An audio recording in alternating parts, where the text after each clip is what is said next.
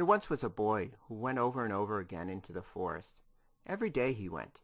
He went more often as time went on, and eventually left at daybreak and didn't come back until night. No matter how much his parents scolded, it did no good.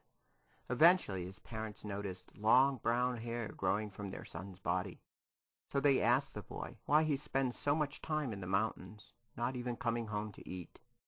The boy said, I find plenty to eat in the mountains. It is much better than the beans and corn we have here.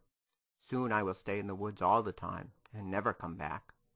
His parents begged him not to leave, but he replied, I have already begun to change. I can no longer live here. Why don't you come with me? If you fast for seven days, you will never have to worry about food. There is plenty of food for all of us. It is better there. Since the region had been experiencing hardship, food was hard to come by in the village. Now the family was a member of the Anisaguhi clan of the Cherokee. The boy's parents discussed their son's invitation amongst themselves before going to talk with the clan leader. A council was held. Afterwards the clan leader said, Here in the settlement we work hard in our gardens and don't always have enough. But the boy says there is plenty to eat. We will join the boy to live in the mountains.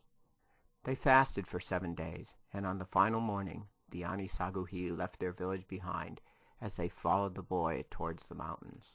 Neighboring villages had heard of this and sent people to persuade the Anisaguhi to stay. But when the messengers arrived, they found the Anisaguhi already heading into the woods, and that their bodies had started to grow long brown hair. The Anisaguhi would not return, saying, Where we are going there is always plenty to eat. From now on you shall call us bears. When you are hungry, come into the woods and call upon us. We shall come and you can take us for our meat and our hides. Don't be afraid to do this, as we will live always. The Anisaguhi then taught the messengers the songs that they were to sing in order to call them. Ya ya way away away hey. Ya ya way away away hey. Ya ya way away hey. Ya way away away. Ya ya way away away hey. Cherokee bear hunters still use these songs today.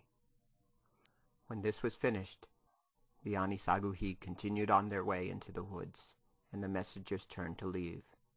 But when they turned back to look, all they saw was a group of bears wandering off into the deep forest.